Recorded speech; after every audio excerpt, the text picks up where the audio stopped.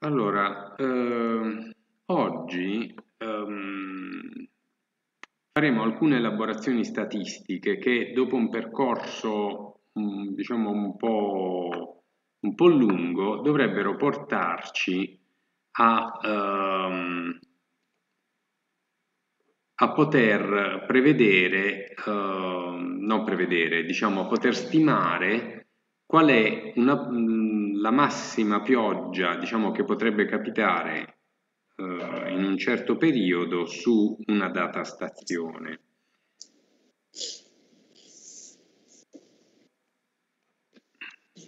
Ah, forse potete capire dalla scrittura che mi sono dimenticato di cambiare il tasto del mouse.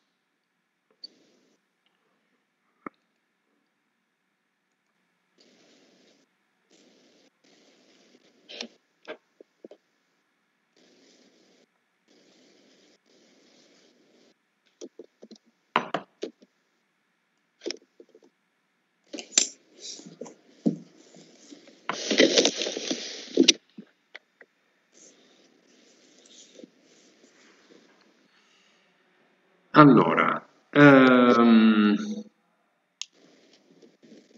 noi ehm, l'equazione, la, la, la, formula razionale la possiamo applicare diciamo, con diversi scopi. Eh, per esempio, se noi abbiamo, eh, vogliamo diciamo, prevedere la portata, che so, la portata media di un anno conoscendo le piogge, ehm, diciamo possiamo prendere le piogge di un anno, dividere quindi h complessiva di un anno, come tempo mettere un anno e diciamo e, e stimare la quantità che potrebbe defluire in una sezione di chiusura in un anno. Um, ammesso, per, per esempio, diciamo, per scendere più nel, nel dettaglio,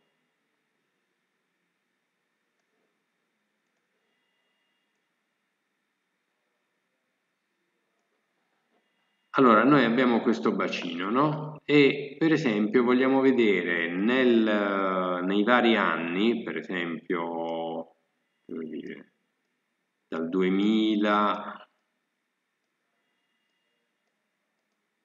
in poi, vogliamo vedere ogni anno qual è stata la portata media, però non abbiamo stazioni eh, di misura delle portate abbiamo soltanto eh, stazioni di misura della pioggia, questi pallini. Mm? Quindi se noi vogliamo sapere, vogliamo avere un'idea, ma diciamo in questi anni qual è stata la portata media, allora eh, prendiamo qui la pioggia, per esempio, la, eh, la pioggia per l'anno 2000 prendiamo la pioggia dell'anno 2000 T mettiamo il numero di ore dell'anno 2000 e, e, otteniamo una stima un po' grossolana, però una stima di quella che potrebbe essere stata eh, la portata nell'anno 2000. Ehm, però, diciamo, molto più spesso la formula razionale e il metodo che le sta dietro eh, vengono utilizzate per stimare la pioggia, uh, la pioggia di progetto. Cos'è la pioggia di progetto? E uh, perché si chiama pioggia sappiamo che vuol dire, progetto sappiamo che vuol dire, dobbiamo capire pioggia di progetto, che significa? Allora, per esempio, se io ho un paese qui, qui per esempio a questa sezione di chiusura, io ho un paese con le sue case, compagnia bella, la chiesa, e, e questo paese è attraversato da un corso d'acqua, bene? E, uh, però, diciamo, come per tutti, mh, questo corso d'acqua può avere dato nel passato dei problemi, no? avere, avere inondato il paese o cose del genere, o potrebbe anche non essere nota una, una inondazione.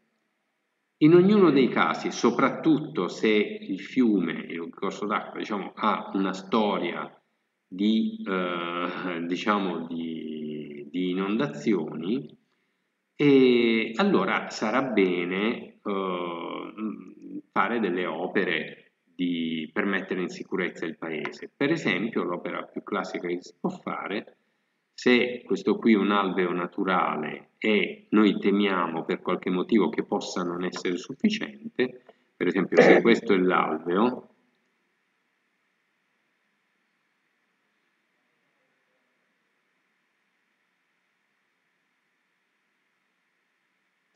se questo è l'alveo naturale e, uh, e se è ragionevole um, ipotizzare che, che questo possa esondare, e allora la cosa più classica che si può fare è costruire un canale, cioè eh, con uno scavo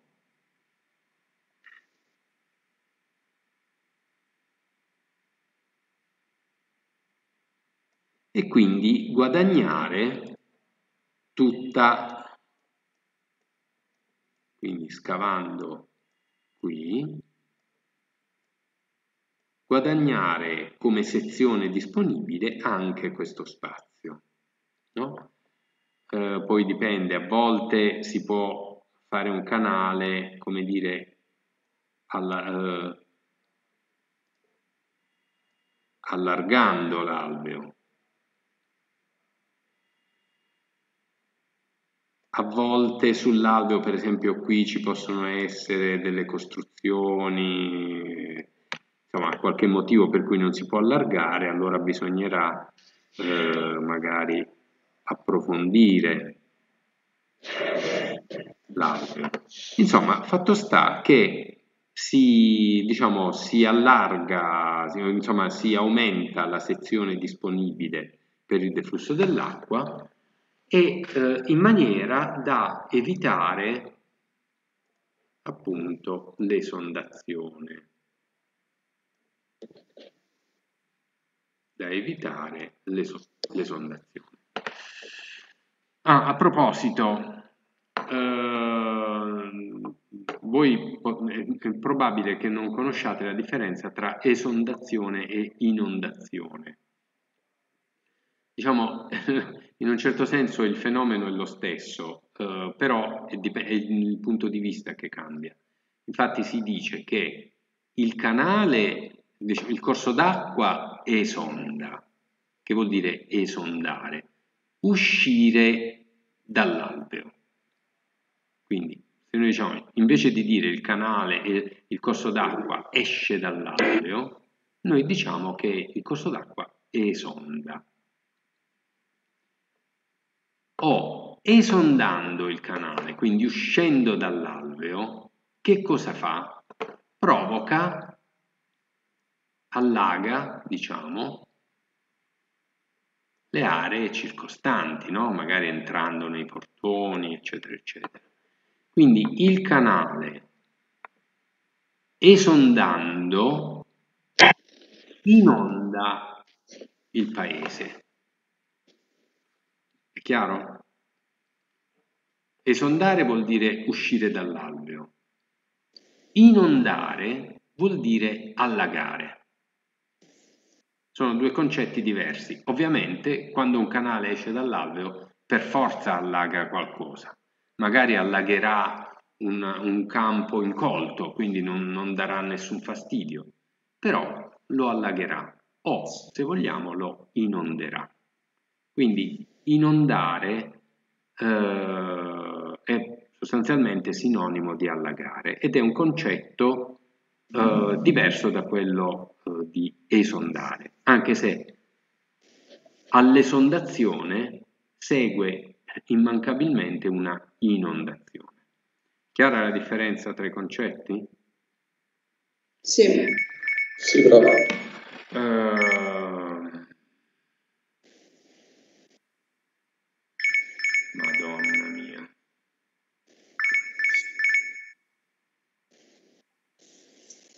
Scusate ragazzi, io eh, quest'anno eh, sto dando sempre fastidio col telefono, ma purtroppo mm, diciamo, eh, c'è un problema di salute in famiglia e vengo, per questo non sempre lo silenzio o mi, dimentico, o mi ricordo di silenziarlo.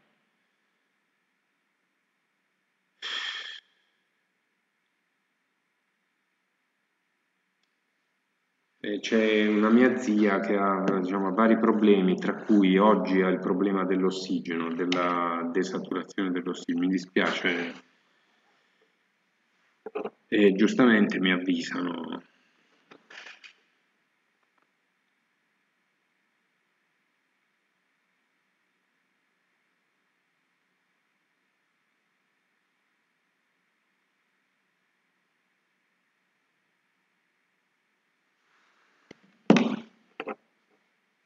Allora, eh, dunque,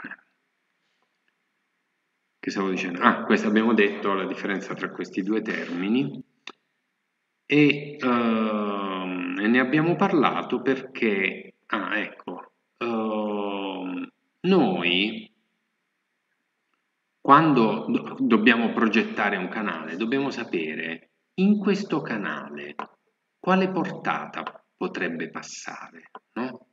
Cioè io so che questo canale è a rischio, questo, diciamo, questo alveo nel paese è a rischio perché magari gli anziani o qualcuno si ricorda che ha dato dei problemi in passato. Eh, possono, questi problemi possono essere dell'anno scorso oppure magari sono eventi che si ricordano soltanto gli anziani. E Fatto sta che questo alveo potrebbe eh, creare dei problemi, questo corso d'acqua. Ehm, allora, quindi questo alveo va allargato, approfondito, insomma questa sezione va aumentata. Però di quanto va aumentata? E bisogna fare delle, anche qui ancora una volta, delle stime. E come le facciamo? E qual è la stima che dobbiamo fare? La stima che dobbiamo fare è qual è la portata che potrebbe passare attraverso questo canale?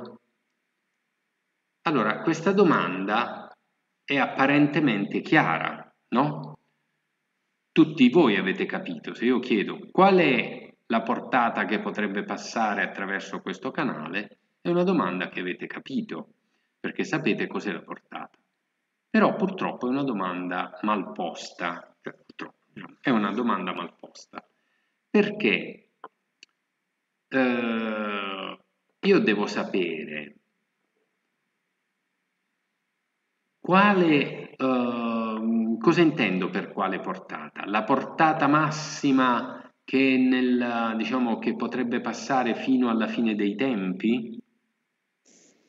Oppure è un concetto, un, diciamo questo è un concetto abbastanza semplice, no? questa è la portata massima che potrebbe passare.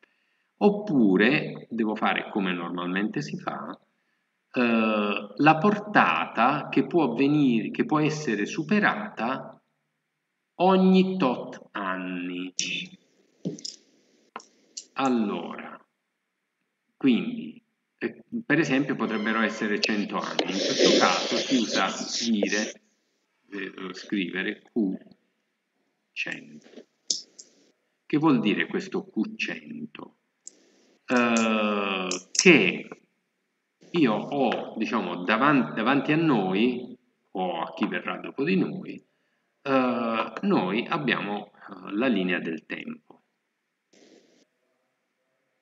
Noi non la vediamo, Infatti la linea del tempo come oggetto non esiste, però come oggetto logico, matematico, esiste.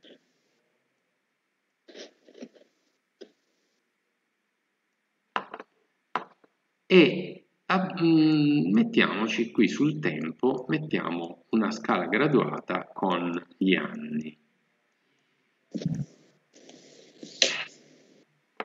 Vabbè, eccetera, eccetera. Eh, diciamo che da qui a qui sono 100 anni, questi sono altri, altri 100 e questi ancora altri 100. Allora, eh,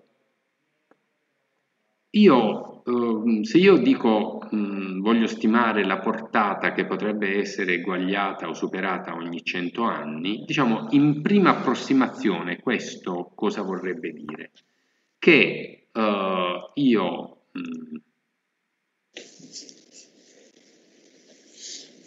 devo cercare di arrivare a stimare una portata, per esempio questa,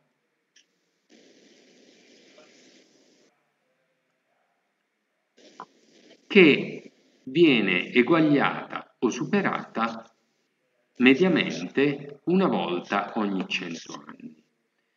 Quindi io immagino che se questa è la portata,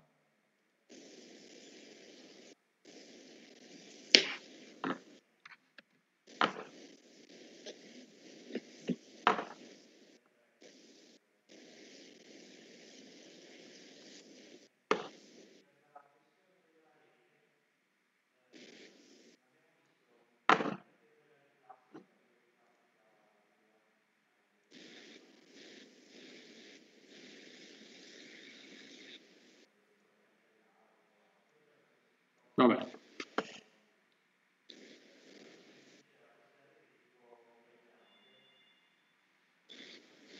Sì, vabbè.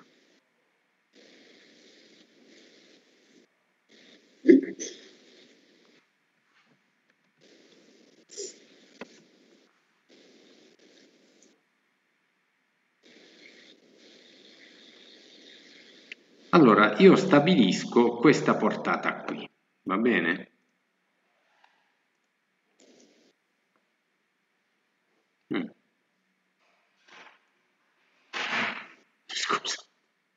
maledetta Dio, maledetta.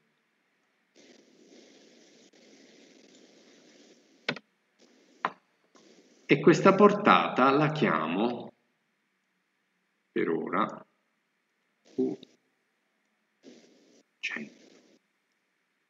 Quindi io posso immaginare che questa Q100 venga superata, magari venga raggiunta in questo anno, nell'anno prossimo, nel, scusate, nel secolo prossimo, eh, poi magari potrebbe essere, perché eguagliata o superata, poi potrebbe essere superata nel secolo, eh, nel, nel secolo successivo, poi magari superata di poco in quest'altro secolo e così via.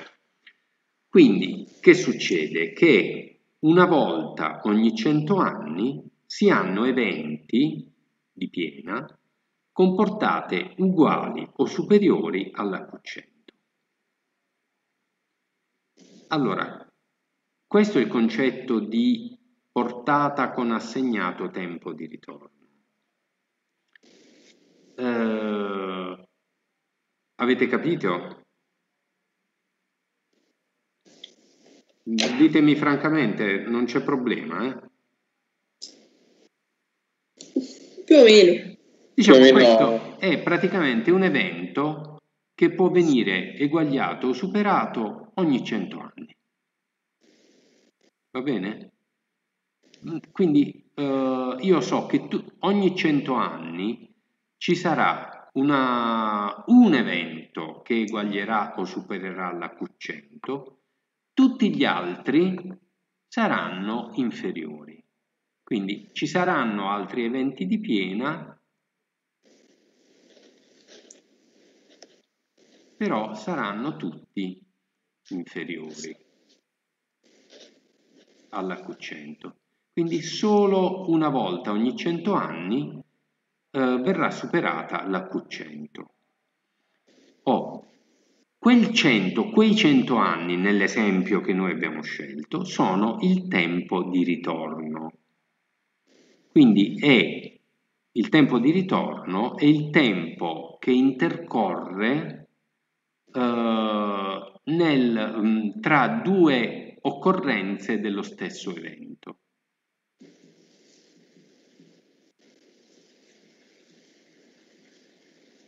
Che è un concetto, guardate, molto semplice, cioè il tempo di, il tempo di ritorno della domenica è sette giorni, perché la domenica si realizza ogni sette giorni. Quindi, professore, potete ripetere, è il tempo che ricorre? Ehm, tempo che media, il tempo che intercorre tra due occorrenze dello stesso evento. T con R.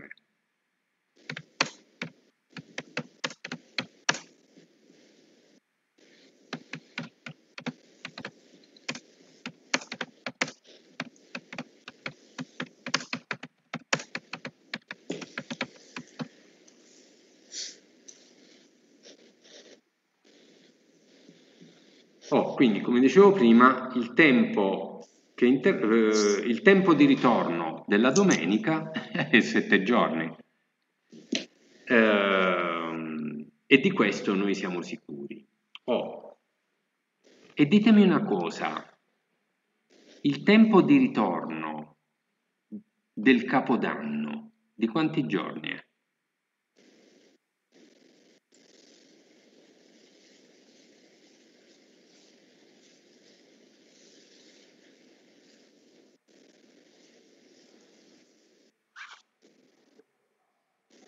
Oh, ragazzi. 665. Ne siete proprio sicuri? Eh. Non sto pensando a, alle frazioni di secondo, agli orologi atomici, eccetera, è una cosa molto più banale.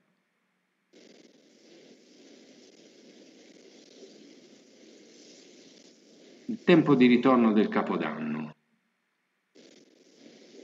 Allora vi riformulo la domanda. Il tempo di ritorno del Capodanno è sempre di 365 giorni?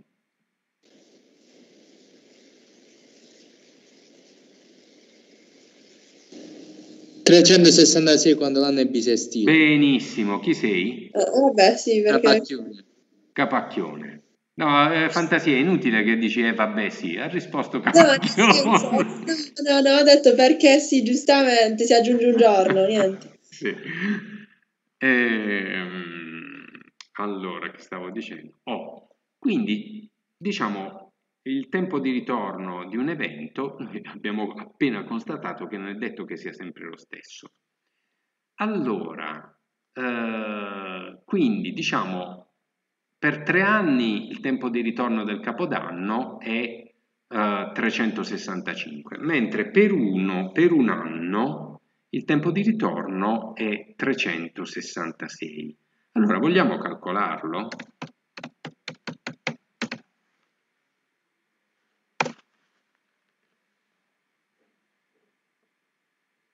Allora, questa è la calcolatrice, ma noi prima lo scriviamo a mano.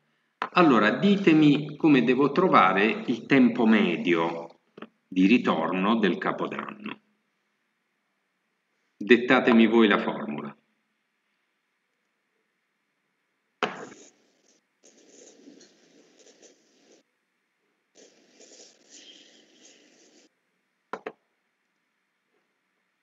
Ragazzi, sono ai, ai vostri ordini, sono il vostro segretario. Quindi tempo di ritorno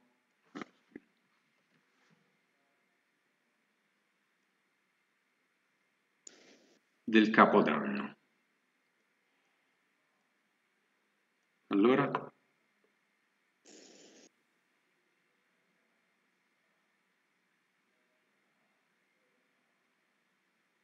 Beh, non mi dettate niente. Capacchione, tu che ti sei accorto della, della trappola. Abbiamo detto che è variabile. Sì. Oh. Quindi per tre anni eh, è di 365 e per un anno di 366. Quindi come facciamo se, se, se, non, se non, vogliamo scegliere, sì è variabile, fa per tre anni, per un anno, se vogliamo dare un'indicazione comunque del tempo di ritorno del capodanno, proprio un numero, come facciamo a ottenere questo numero?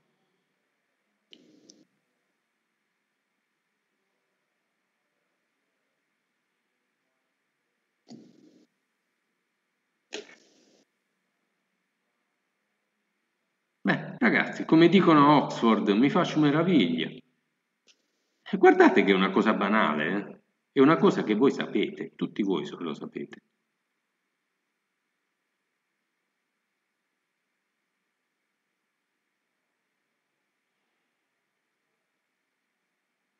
Mm, diciamo, lo vogliamo chiamare il tempo di ritorno medio?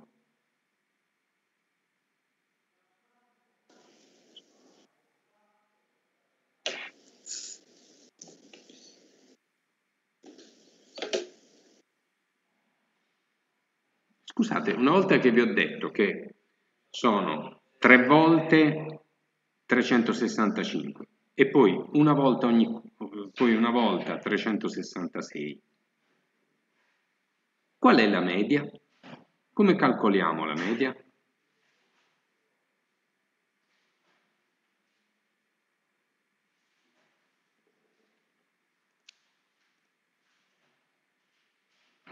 Dai, forza ragazzi! Non ci credo che non lo sapete.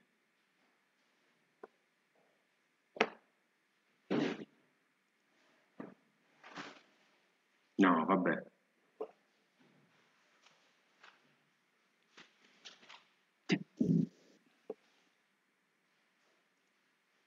Allora, prendiamo Capacchione che ha risposto correttamente. Allora, ascoltami Capacchione, concentrati noi abbiamo che c'è un anno e 300, anzi lo scrivo così,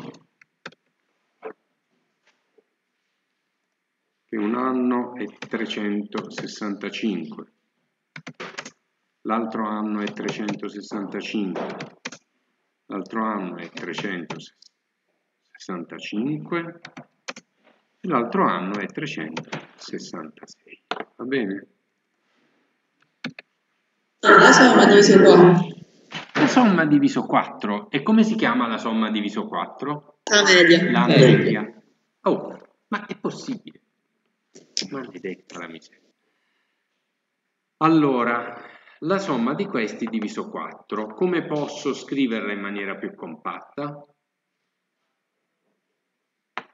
Posso scrivere 365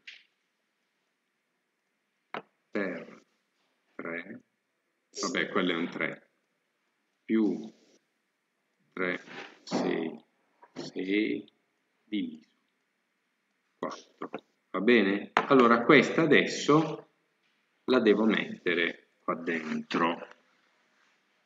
Uh, vediamo, questo accetta le parentesi? No, vabbè, allora facciamo così.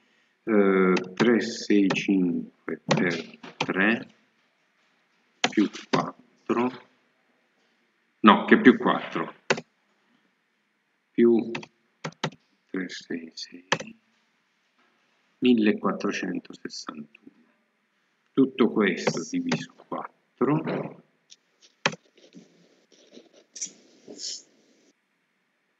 no c'è qualcosa che non va Ah, no, no, è questo il risultato. 365,25.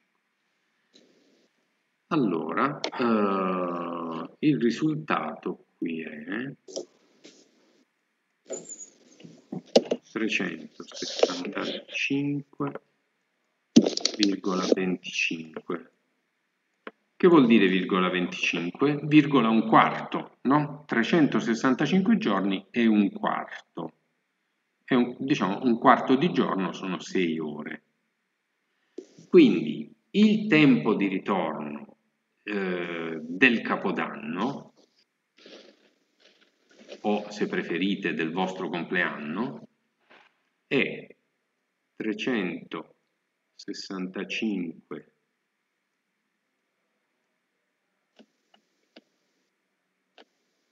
eh, giorni e 6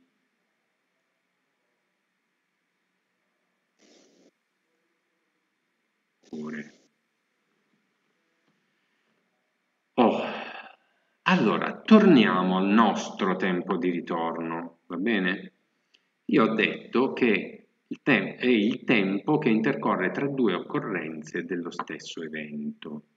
Allora, visto che abbiamo, abbiamo, appena constatato che il tempo di ritorno degli eventi non, non necessariamente è costante, no? Perché il tempo di ritorno della domenica sono sei giorni fissi, eh, sette giorni costanti, no? Sono sempre sette giorni. Però ci basta considerare un evento annuale e il tempo di ritorno non è più costante. Allora noi aggiungeremo qui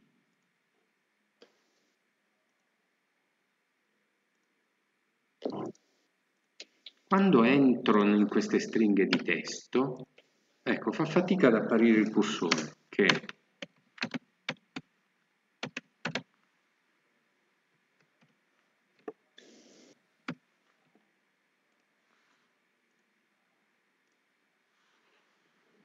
Quindi il tempo di ritorno è il tempo che mediamente intercorre tra due occorrenze dello stesso evento. Eh, quindi proviamo a rifare questo grafico che abbiamo appena fatto. Eh,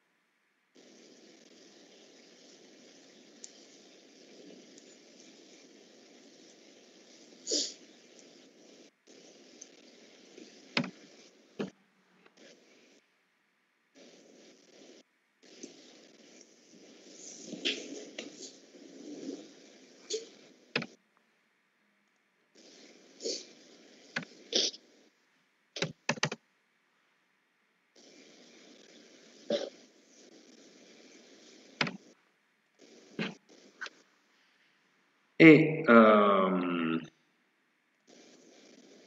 vabbè, questi sono i secoli.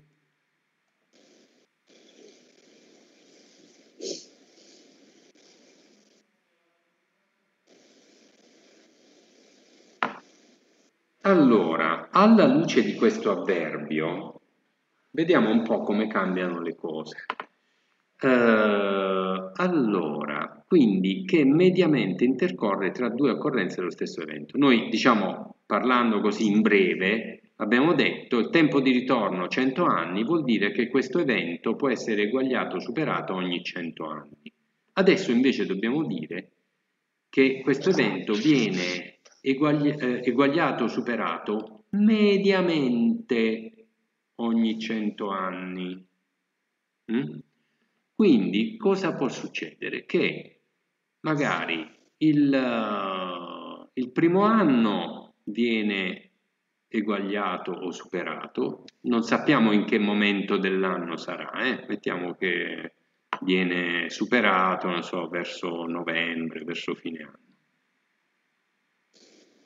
Scusa, io dico sempre il primo anno e voi non mi correggete, il primo secolo. Eh, poi magari nel secondo secolo eh, non viene superato. Però può succedere, per esempio, che nel terzo secolo viene superato due volte. Quindi in questi tre secoli cosa è successo? Che eh, in 300 anni è stato superato tre volte, però in maniera irregolare, cioè il primo anno è stato superato una volta.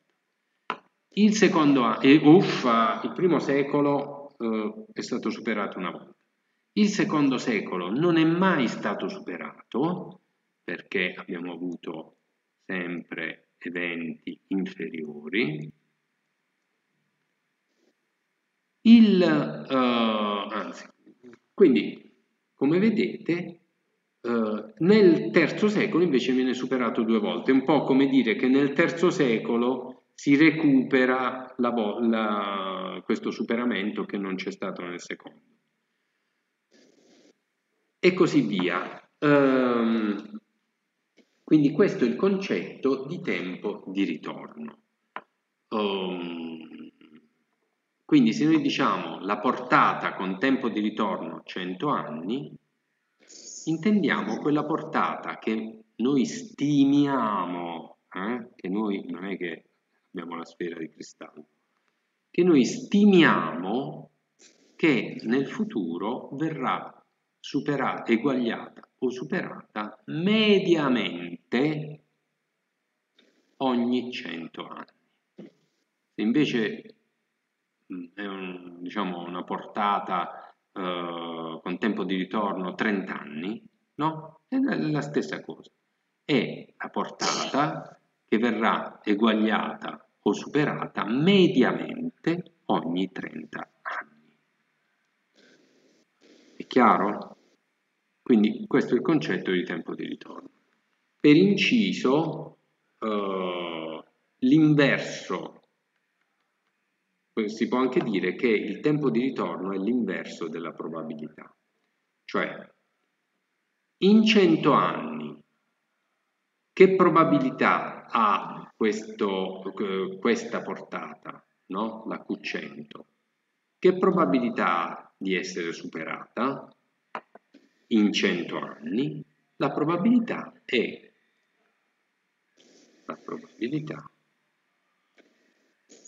è uguale a una volta un evento ogni 100, eh, cioè ogni 100 anni. Eh, quindi se noi facciamo 1 su P uguale 100 uguale al tempo di ritorno.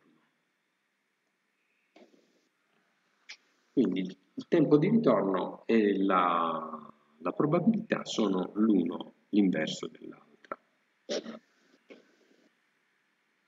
Um, quindi per dire, se uh, immaginiamo di avere un dado, no? Un normale dado da gioco, e il dado ha sei facce con sei numeri. Allora, qual è la probabilità che esca un qualsiasi numero, per esempio il 2? La probabilità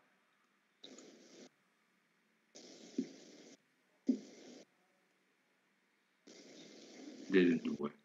Quant'è? 1 su 6. 1 su 6, benissimo. Ho, diciamo, un concetto non proprio uguale diciamo, a quello di tempo di ritorno, però invece di tempo mh, mm, consideriamo il numero di lanci. Allora, secondo voi, ogni quanti lanci uscirà il numero 2. Quante volte dobbiamo lanciare il dado perché esca il numero 2?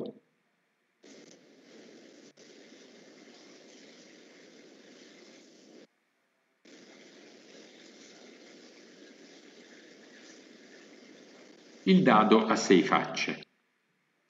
Quindi ogni quanti lanci uscirà il numero 2? La domanda è mal posta, però ve la pongo lo stesso. Ogni 6. Ogni 6. E perché la domanda è mal posta? Perché doveva dire tempo di ritorno? No, perché dovevo dire, dovevo aggiungere un avverbio. Potrebbe... No, eh,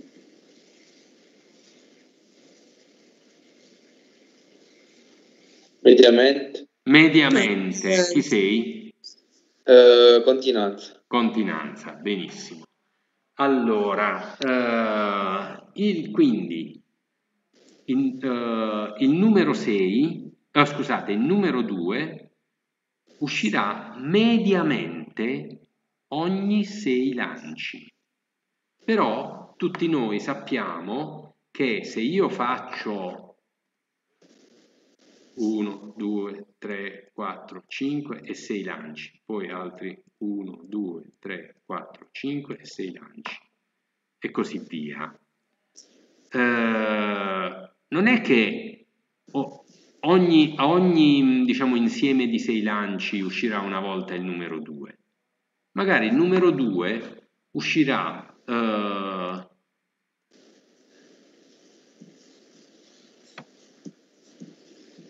vabbè, no.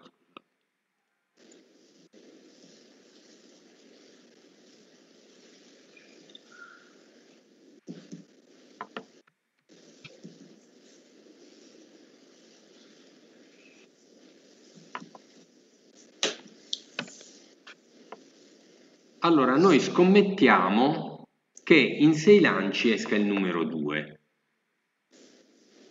Allora, ehm, magari, quindi questi sono gruppi di 6,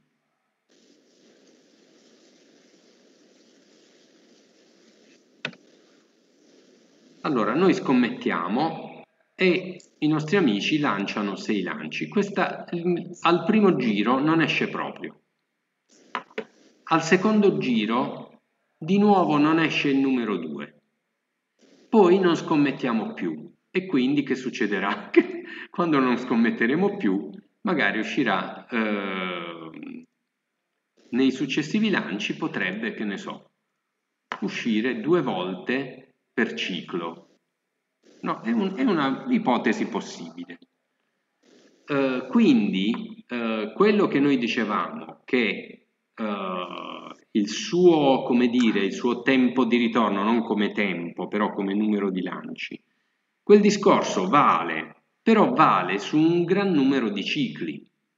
Cioè io so che su un gran numero di, di lanci, effettivamente, se io poi divido, mi uscirà il numero 6. Eh, però non è detto che questo avvenga con soli 6 lanci, chiaro? Quindi questo è il concetto del tempo di ritorno medio, cioè si intende generalmente come tempo di ritorno il tempo di ritorno medio, non un tempo fisso.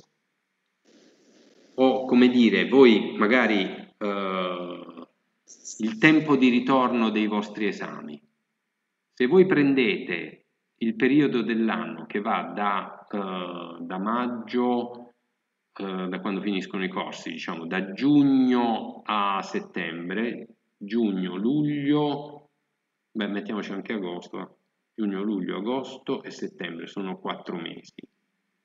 Uh, e, e, e, dividete, diciamo, trovate, non so, 4, 5 esami in 4 mesi. È, un, è un ritmo diverso. Se voi prendete invece il periodo di febbraio, magari avete 0 esami. Quindi, diciamo, la... Uh, il, eh, no, no, mi viene la parola inglese e non quella italiana, diciamo, la tempistica degli esami, il tempo che intercorre tra i vostri esami cambia durante l'anno ovviamente perché eh, c'è il periodo degli esami, c'è il periodo delle lezioni, c'è il periodo in cui avete un esame difficile, perdete tempo, eh, cioè perdete, diciamo, consumate più tempo, e, e così il tempo di ritorno. In genere i tempi di ritorno degli eventi variano. Eh, va bene, allora facciamo una, una breve pausa e ci sentiamo tra dieci minuti. Va bene. Va bene, prof.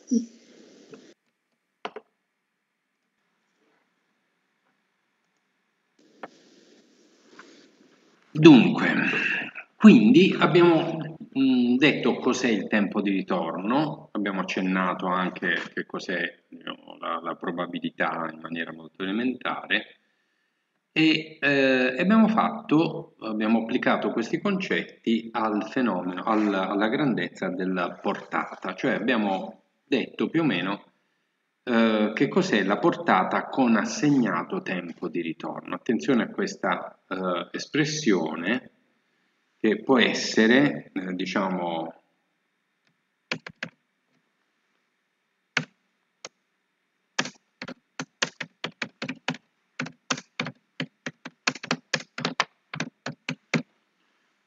Perché ho scritto XXX? Perché al posto di XXX ci può essere eh, portata eh,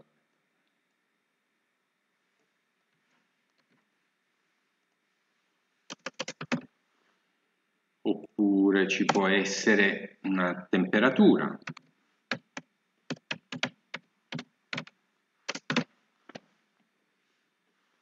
oppure ci può essere una precipitazione questo io. Ah.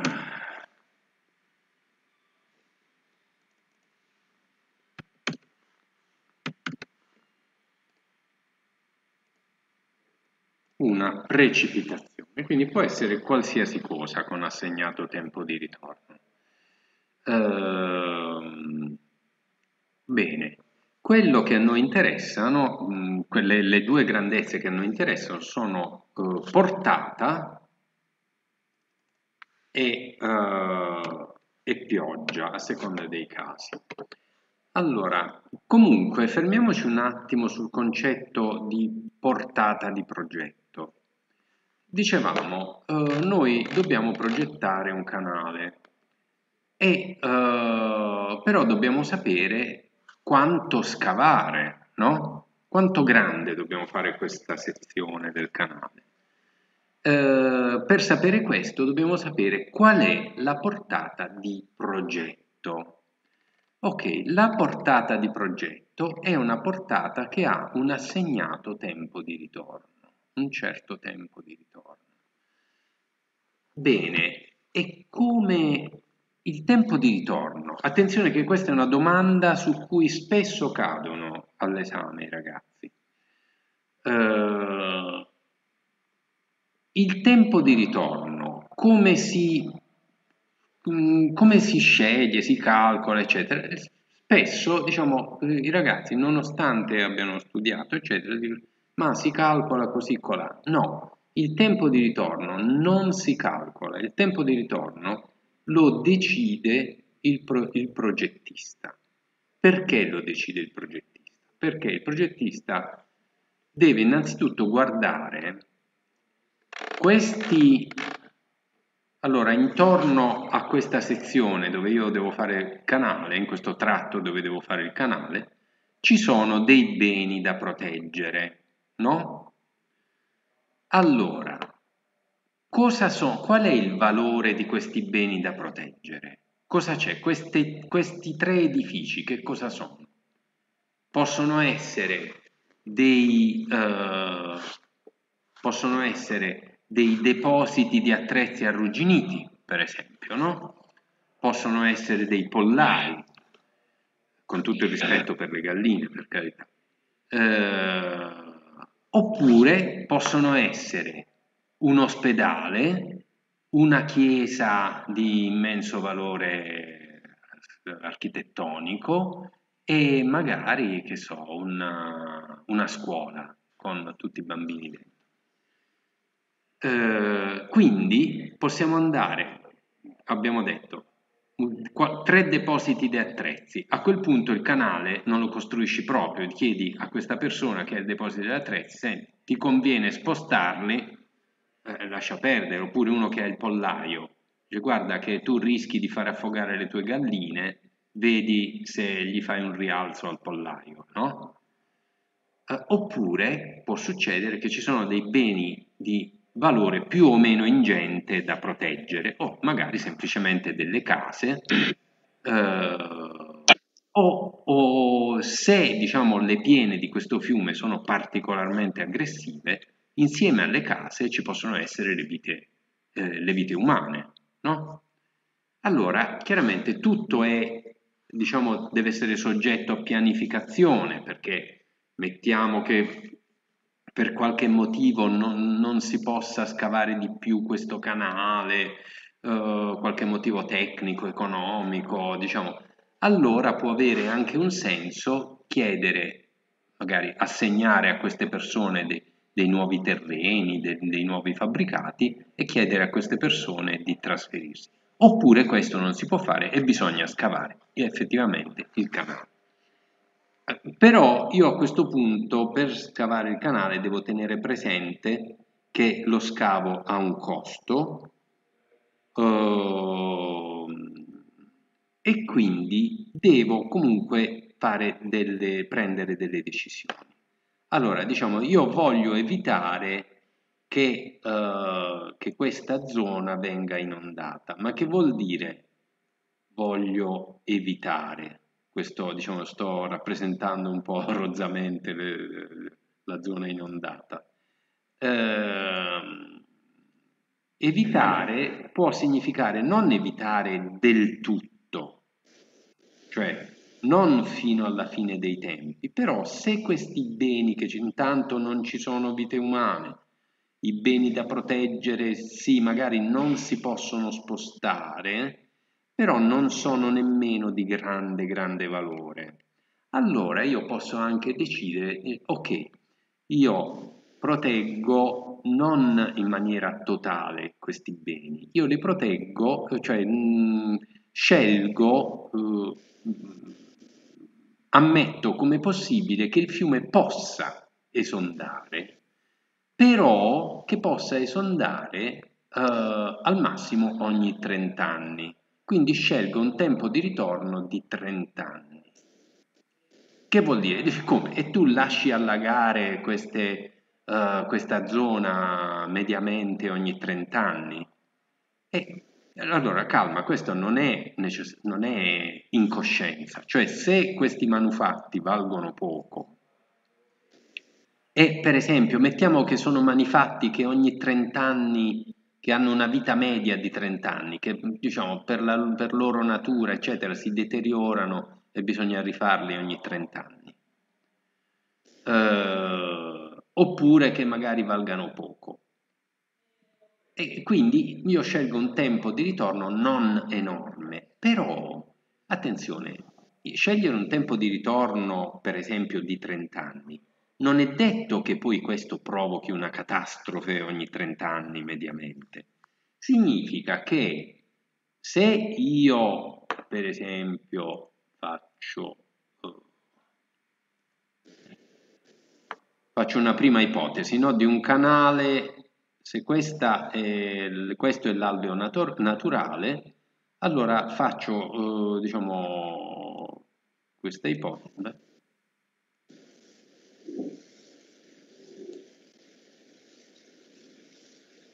Questa è un'ipotesi di, uh, di progetto, diciamo.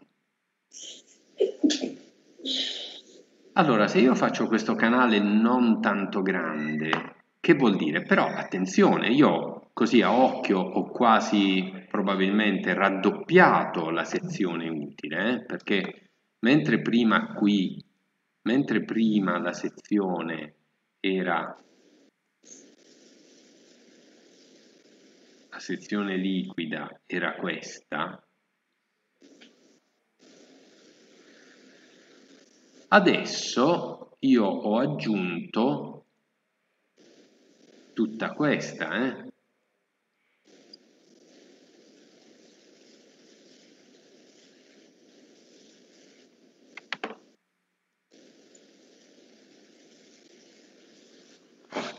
Eh, quindi io comunque ho messo in una relativa sicurezza i manufatti che si trovano eh, sulle sponde, diciamo mh, in prossimità della sponda. Ma anche quando ci sarà mediamente ogni 30 anni l'esondazione, virgola, l'inondazione non sarà grave perché eh, magari io mh, avrò qualche allagamento discantinato, avrò che so un blocco del traffico qui intorno perché, perché qui è arrivata un po' d'acqua, no? Però non avrò la, la tragedia perché io diciamo così a occhio ho più o meno raddoppiato la portata convogliabile attraverso il canale, attraverso l'alveo, va bene? Quindi uh, quando ci saranno queste, inondazio- queste esondazioni mediamente ogni 30 anni, saranno esondazioni molto inferiori a quelle che ci sarebbero se io non facessi niente. Al tempo stesso, diciamo, avendo scelto un tempo di ritorno di 30 anni, ho potuto risparmiare sullo scavo, che so, risparmiare soldi pubblici, risparmiare, risparmiare anche impatto ambientale, perché comunque eh, scavare un canale eh, cambia, diciamo, ha anche un impatto ambientale, visivo, mettiamo che siano luoghi di pregio, Uh, mentre se io avessi scavato, diciamo, nel, in una seconda ipotesi, se io avessi scelto un tempo maggiore, io avrei dovuto scavare un, ca un canale più grande e quindi fa spendere più soldi alla comunità, avere un impatto ambientale maggiore o magari eh, dover uh, abbattere questi manufatti che sono, diciamo, che sono incompatibili con la presenza del canale. Quindi diciamo, bisogna trovare sempre uh, un giusto compromesso tra la messa in sicurezza e, uh, e, i costi di vario tipo, anche i costi immateriali che questo ha. È un po' diciamo come quando noi facciamo qualsiasi cosa, noi facciamo sempre dei compromessi tra, cioè lo vediamo in questi mesi, no? Eh, certo sarebbe, sarebbe facile, come dire, è facile consigliare per quanto riguarda il Covid, state tutti a casa finché il virus non sarà sparito completamente. Eh, e così vinceremo la battaglia contro il Covid magari in un mese soltanto di lockdown totale, proprio totale, totale, potrebbe scomparire, ma la butto lì, eh. Uh, però magari avremmo dei danni economici incalcolabili e avremmo forse più suicidi che morti di Covid. Quindi quelli che governano uh, che che nel bene e nel male devono trovare un compromesso. No? Quindi c'è sempre in quasi tutto quello che facciamo un compromesso tra la, eh, tra la sicurezza e altre, e altre, considerazioni economiche, sociali e compagnia bella. E nel nostro caso ambientali anche. Uh, va bene, quindi ricapitolando, il tempo di ritorno, oh, scusate, eh, sì, il tempo di ritorno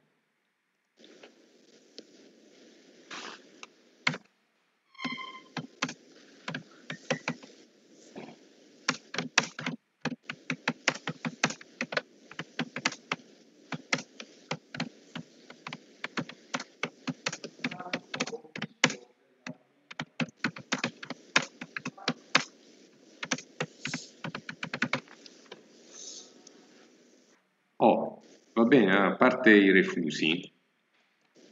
Uh, uh. Quindi il tempo di ritorno lo sceglie il progettista. Prima cosa. In base al valore dei beni da proteggere. Ora, questi beni da proteggere appunto possono essere eh, dal campo di calcio che magari se si allaga un campo di calcio, magari non si possono fare partite per due settimane. Vabbè, ok, è un, è un danno, però non è la fine del mondo. Se invece si allagano gli scantinati di un ospedale dove ci sono i microscopi elettronici e tutto quanto, eh, allora è, diciamo, è una tragedia. O, o, se si perdono vite umane. Quindi è chiaro, in base al valore di questi beni da proteggere si sceglie il tempo di ritorno. Mentre la portata di progetto è sostanzialmente la portata avente il tempo di ritorno commisurato al, al valore dei beni da proteggere. Quindi la portata di progetto è la portata avente quel determinato tempo di ritorno. Chiaro? Quindi possiamo dire che di fatto la portata di progetto Q con P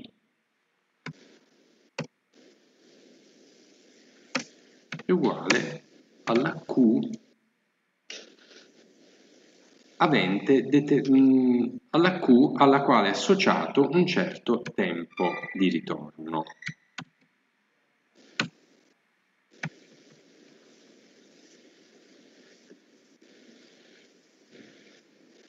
È meglio, è meglio scrivere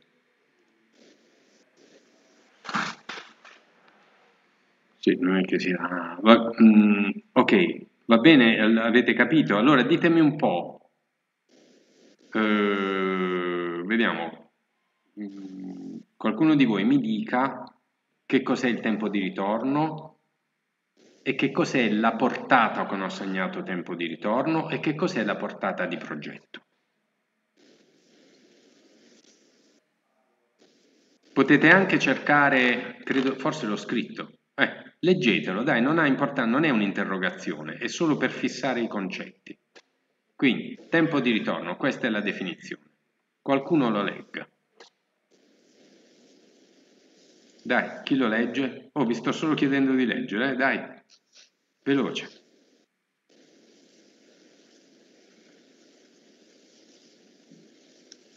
Oh, timidi. Allora leggo io. Mm.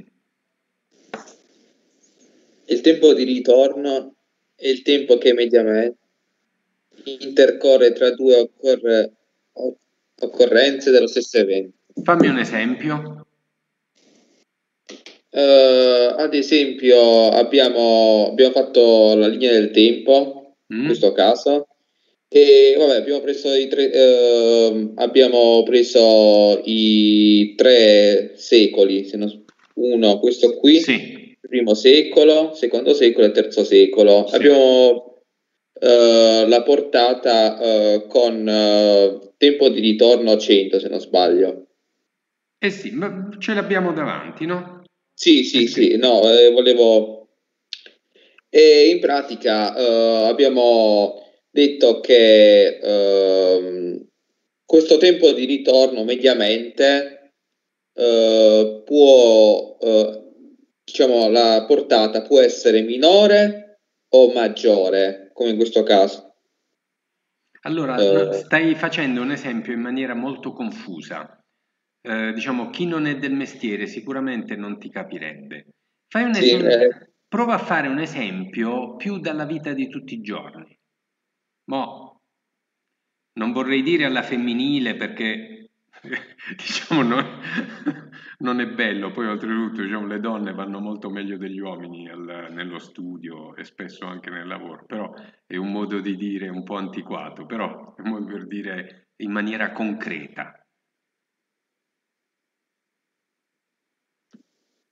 Un esempio più, mm, anche meno scientifico, anche, cioè, mm, per esempio il tempo di ritorno, pensa a qualche evento che che ogni tanto si verifica. Fammi un esempio facile. Uh, per esempio, il tempo di ritorno, uh, il passaggio di una, di una cometa. Fantastico. Oh, bravo, un bel esempio, diciamo, Bravo. Allora, vediamo il tempo di ritorno del passaggio di una cometa. che vuol dire questo tempo di ritorno? Diciamo che abbiamo visto come abbiamo visto per gli anni, cioè non è una cosa, un tempo di ritorno fisso, il tempo di una, cioè il passaggio di una cometa può essere anche variabile, cioè è variabile, non è che può essere variabile, è variabile perché non, non è detto che in un anno pa- passerà di nuovo quella cometa, può passare pure tra un miliardo di anni, per esempio, oppure di mh, due miliardi. Diciamo mm. che. Senti, allora diciamo così: diciamo che per una certa cometa, non me ne viene una precisa. Il tem- quando si dice eh, il tempo di ritorno è di 600 anni, allora dimmi un po' che noi, diciamo è una battuta, noi, per esempio, stanotte è passata quella cometa, no?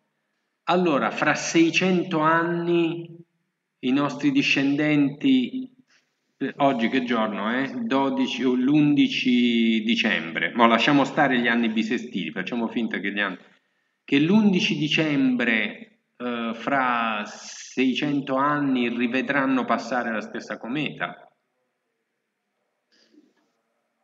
No, no. mediamente. Cioè, me- cioè, si fa una stima. Cioè, non... Uh... Vabbè, cioè... diciamo che, che mediamente ogni... Ogni 600 anni si avrà questo passaggio. Questo passaggio della cometa. Oh. Allora, vedete anche come, come organizzare la frase, è semplicissimo. Invece di dire la cometa passerà ogni 600 anni, si dice la cometa passerà mediamente ogni 600 anni. Vedete, è facilissimo. Quindi basta, cioè, eh, diciamo, facendo appunto, eh, come abbiamo visto prima, il tempo di ritorno, abbiamo calcolato la media. Quindi basta, cioè, visto che ne facciamo la media, basta aggiungere mediamente, esatto. semplicemente, sì, cioè senza sì. esatto. andare... Poi abbiamo mm. visto anche la probabilità che è l'inverso del tempo di ritorno. Sì, sì. Abbiamo fatto infatti 1 fratto P, quindi 1 fratto 100, e vabbè, 1 fratto P è più uguale a 100, perché sarebbe l'inverso appunto della probabilità. Quindi avremo 100 che corrisponde proprio al nostro tempo di ritorno. Sì. Poi abbiamo fatto l'esempio dei dati, uh, la probabilità che esca il 2 ogni, uh, vabbè, ogni, lan- ogni ciclo di 6 lanci. Eh, ogni ciclo di 6 lanci, infatti abbiamo, abbiamo visto che è pari a un sesto. Esatto. E poi diciamo che il tempo di ritorno, cioè il, abbiamo visto che appunto la... Uh,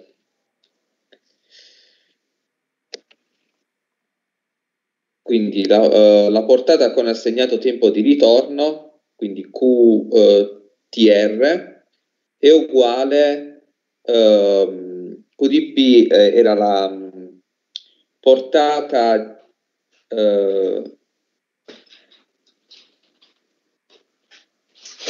Guarda che una volta che hai definito il tempo di ritorno, Uh, sì. Il concetto di portata con assegnato tempo di ritorno è proprio immediato, è come si direbbe in matematica un corollario, cioè proprio una cosa immediatamente conseguente. Quindi tu hai, hai definito cos'è il tempo di ritorno.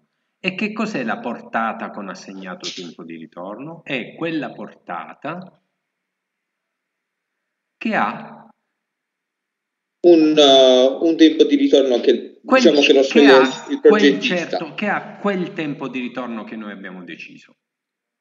Eh sì, perché abbiamo detto che questo tempo di ritorno non si calcola, ma lo sceglie il progettista, Perfetto. cioè fa in base al diciamo che in base a quello che dobbiamo proteggere, cioè dobbiamo considerare vari fattori, anche il fattore economico, il valore dei beni. Quindi diciamo in eh, generale in base al valore di quello dei beni da proteggere. Eh sì, sì, infatti abbiamo fatto la differenza tra per esempio un pollaio oppure un magazzino dove teniamo uh, materiali che probabilmente non ci serviranno più cioè una rimessa più che altro. Sì, una, sì. Rispetto a una chiesa con un grande valore architettonico da sì. proteggere. Oppure un ospedale, cioè ci sono, diciamo, c'è tutta una scala di, di come dire, di, uh, di, valori dei beni da proteggere con, che, che ha in cima la vita umana.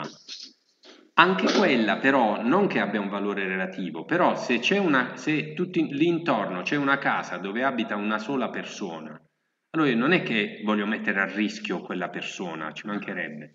Però gli dico, guarda, io ti do un altro terreno, ti costruisco Stato, ti, ti rimborso, ti costruisco un'altra casa, eccetera, però invece di farmi scavare un canale solo per te, mh, mm, trasferisciti in un altro posto no? Io ti, ti, ti rimborso perché tu ti trasferisca in un altro posto, diciamo ovviamente un posto eh, dignitoso, almeno pari a quello dove stava prima. Eh, oh, quindi, ultimo con, quindi la portata con assegnato tempo di ritorno è la portata che ha quel tempo di ritorno, cioè quella portata che viene eguaglia, continuiamo, quella portata che viene eguagliata o, o, uh, o su. Ah quella sì che viene eguagliata o superata mediame, mediamente. mediamente ogni per esempio il tempo di ritorno 30 anni. Sì o 100 anni dire mediamente ogni t anni dove t ogni t anni sì.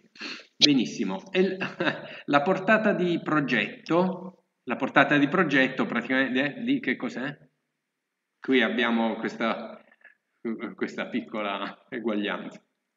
Era diciamo che uguale a quello che abbiamo detto prima. Uh, cioè, il tempo, di, cioè, il tempo di ritorno in questo caso uh, viene scelto direttamente dal progettista, cioè non ca- cambia sì, solo... Diciamo che sostanzialmente la portata di progetto è la portata letteralmente vuol dire la portata che viene utilizzata per il progetto. La portata che viene utilizzata per il progetto è la portata che ha quel tempo di ritorno, quindi sono la stessa cosa. Solo che mentre diciamo portata con assegnato tempo di ritorno, non è detto che noi dobbiamo diciamo, uh, come dire, è un concetto che esula dal progetto, fare o non fare un progetto, eccetera. Può essere semplicemente uno studio, come dire, di idrologia, così, un esercizio in cui si dice io ho trovato che la portata con assegnato, te- con assegnato tempo di ritorno, per esempio di 100 anni, in quel torrente è di uh, 92 metri cubi al secondo. Mm?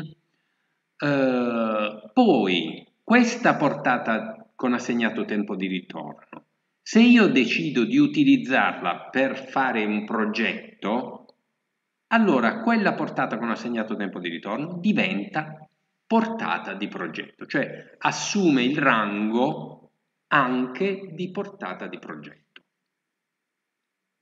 Va bene? Ho Esattamente lo stesso di, eh, discorso, no vabbè, allora, mh, mm, ok, questi, pro, questi concetti do, dovrebbero essere abbastanza chiari adesso e uh, veniamo adesso, torniamo alla, uh, alla famosa formula razionale.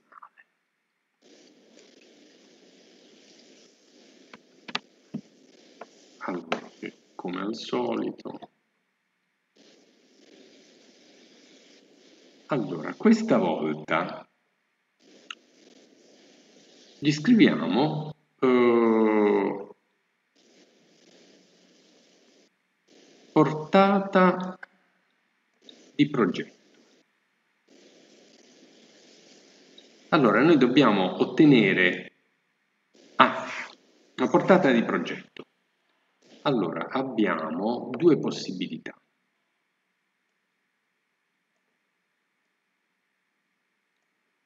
O eh,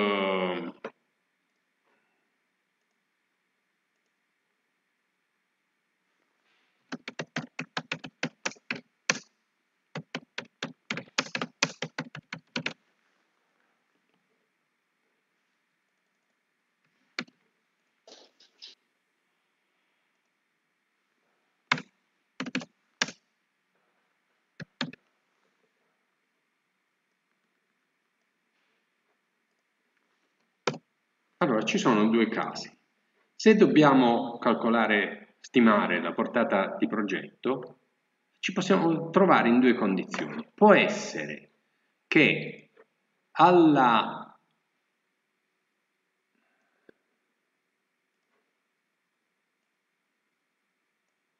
qui eh, diciamo può essere che noi abbiamo una stazione di misura eh, mettiamo così dai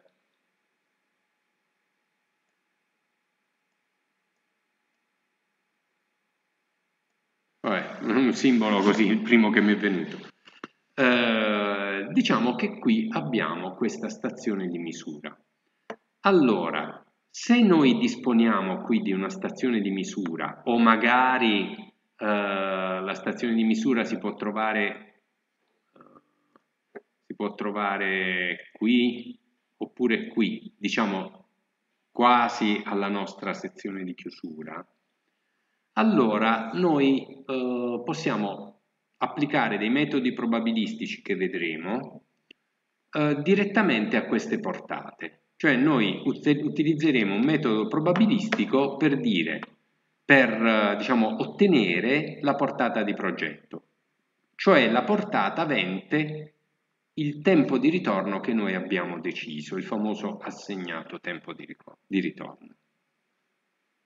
Oppure può essere che noi non abbiamo queste stazioni di misura, quindi eh, diciamo queste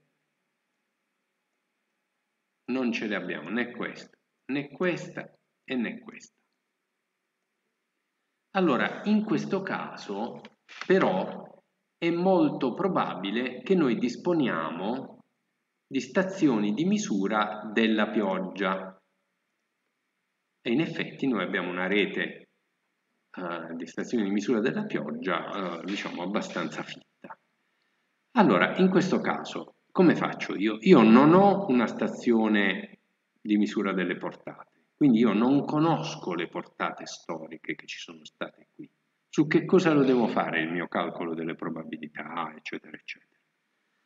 Allora devo ricorrere a un metodo di trasformazione a flussi dei flussi cioè tutta una famiglia di, di metodi, di tecniche, eh, tra le quali noi abbiamo eh, spiegato, abbiamo utilizzato finora il metodo razionale. Quindi, ripeto, il metodo razionale è uno dei tanti metodi eh, di trasformazione a flussi dei flussi. Ricordatevi questa espressione.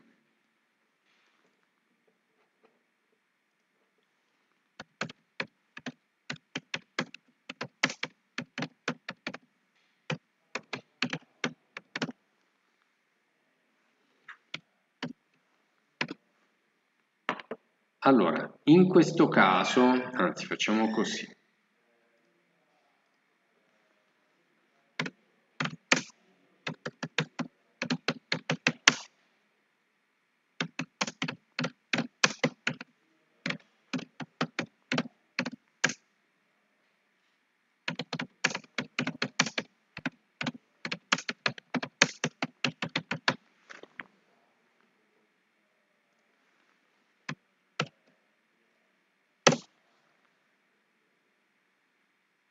Allora, uffa, ma è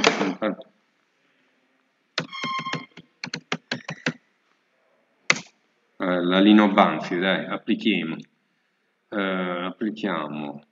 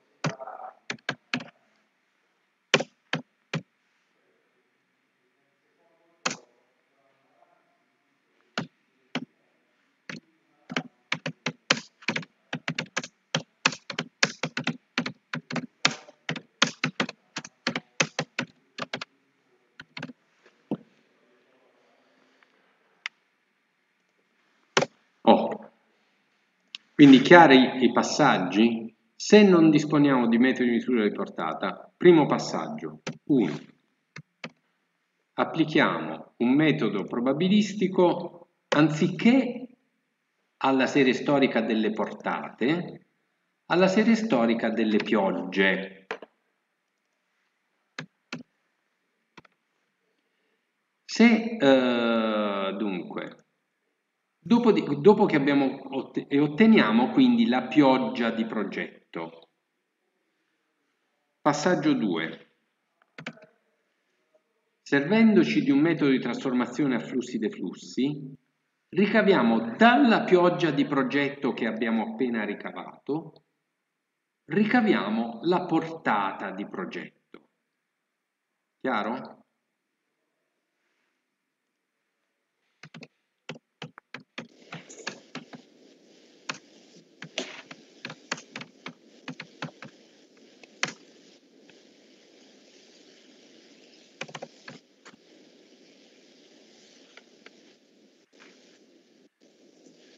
Uh, bene. Allora, diciamo che in molti casi, nella, nella, stragrande maggioranza dei casi con cui noi avremo a che fare, uh, noi non avremo la serie storica delle portate. Perché? O perché quel bacino non ce l'ha proprio la stazione di misura, o perché uh, noi, diciamo,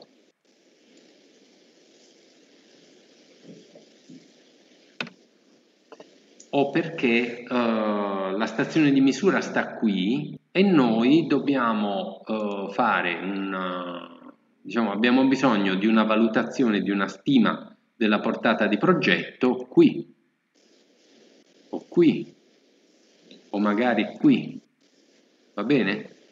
Quindi questa stazione di misura ci, non, diciamo, non, non, non ci serve perché il nostro bacino di riferimento non sarà più questo, ma se per esempio la nostra sezione eh, di chiusura è questa, faccio per dire, il, uh, il nostro bacino di...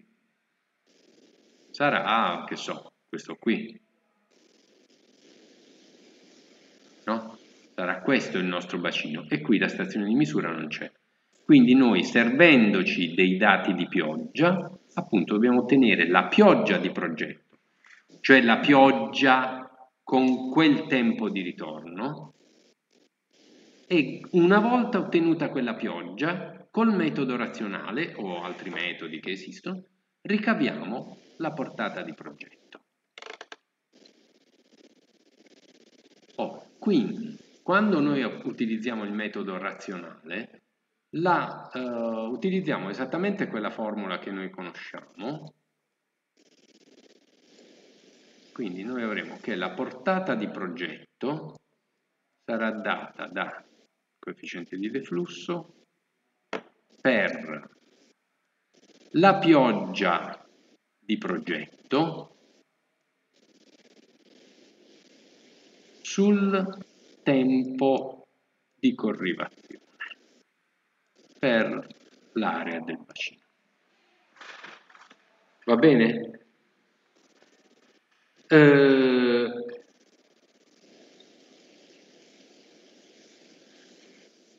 quindi noi diciamo che abbiamo stabilito che un tempo di ritorno, un compromesso, che è sempre un compromesso, no? un tempo di ritorno che noi decidiamo è di 50 anni. Allora possiamo riscrivere questa formula sotto forma, sotto questa esattamente uguale, anzi,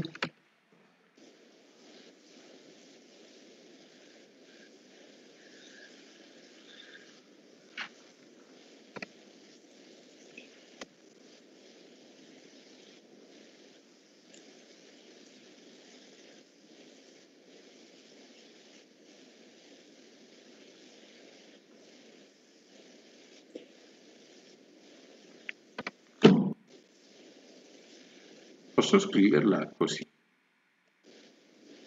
La portata avente tempo di ritorno assegnato di 50 anni è data dalla formula razionale coefficiente di deflusso qui alla pioggia mettiamo la pioggia con tempo di ritorno assegnato anch'essa di 50 anni.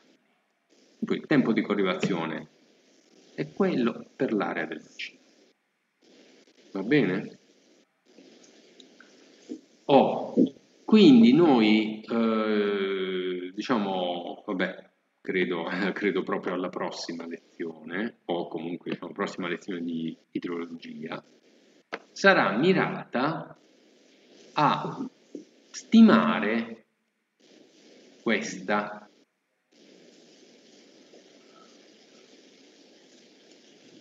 quindi questa la otterremo grazie all'uso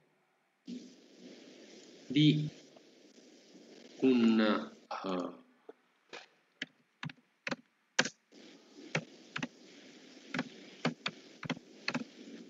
di un metodo probabilistico.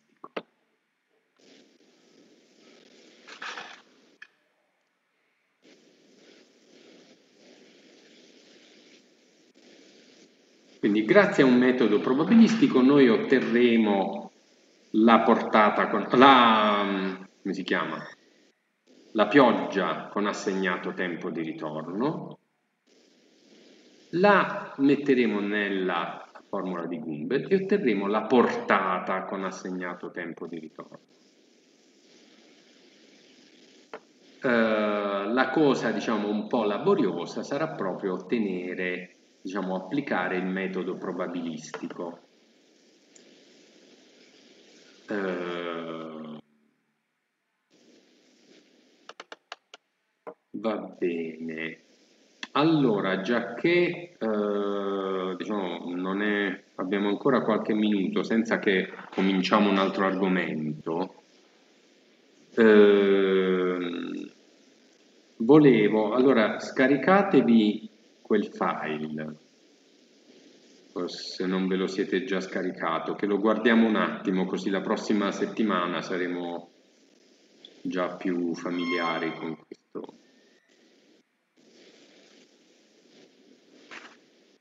Mm, Ve lo dovete scaricare? Sta sulla sì, chat? l'ho scaricato. Come? Sì, l'ho scaricato. Mm -hmm. Quindi quello l'avete scaricato? Sì, prof. Va bene, allora apriamolo. Vediamo se io ce l'ho già aperto. Dovete aprire questo qui che si chiama esercitazione Gumbel pioggia Bari Picone.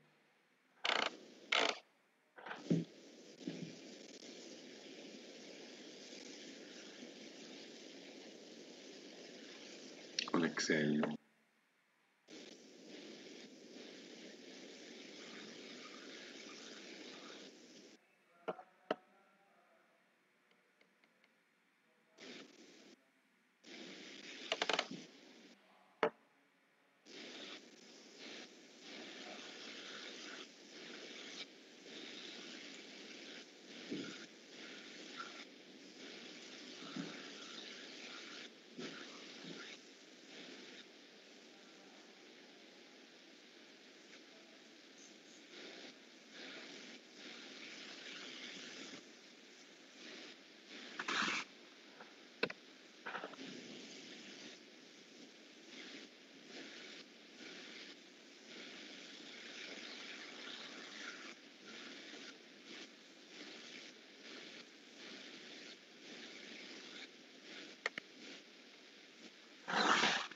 Allora, ehm, abbiamo questo foglio Excel, no? Dovete andare alla scheda, qui al, al foglio Gumbel. Eh, o meglio, magari voi per ora non fate niente, guarda, ve lo faccio solo vedere. Questo è un, un foglio Excel con i dati grezzi e anche quelli già elaborati. Eh, vediamo i dati grezzi. Allora, abbiamo qui per esempio Bari Osservatorio, no? questa, questa, stazione, questa è una stazione eh, pluviografica della protezione civile che eh, si trova a Bari e se non ricordo male sta proprio credo sul palazzo della regione credo. Eh. E, no, però potrei sbagliarmi perché ce ne sono tre a Bari. Allora, diciamo comunque si trova a Bari. E uh, allora prendiamo questo anno qui, il 1932, è il primo anno per cui sono disponibili i dati. 1932. E guardiamo questi numeri qui. Questi sono ore. Che, che ore sono? Cioè sono le ore, uh, la durata dell'evento, dell'evento piovoso espressa in ore. Va bene? Allora, prendiamo questa colonna. Allora, in questa colonna abbiamo questi, questi primi sono dei dati elaborati, lasciamoli perdere. Eh, e andiamo qui. Abbiamo nel 32 abbiamo 49,2, questi sono millimetri di pioggia. Eh? Che cosa vuol dire quel 49,2? Vuol dire che nel 1932 eh, l'ora più piovosa dell'anno, nell'ora più piovosa dell'anno, sono caduti 49,2 mm di pioggia, quindi diciamo 5 cm. Va bene? Eh, eh, attenzione, nel dire l'ora più piovosa, io non voglio dire che in quell'ora sono caduti eh, 49, cioè vuol dire soltanto che in quell'ora c'è stato un totale di 49,2 mm. Poi, se questi millimetri, diciamo se questa è l'ora, no? Allora, eh, quei millimetri, abbiamo, abbiamo detto 49, possono essere caduti, che ne so, eh, in maniera costante, quindi aver avuto un'intensità costante e a poco a poco essersi accumulati, va bene? Fino a raggiungere, diciamo, questa, fino a raggiungere i 49, va bene? Oppure eh, possono, eh, la pioggia può aver avuto un andamento diverso, quindi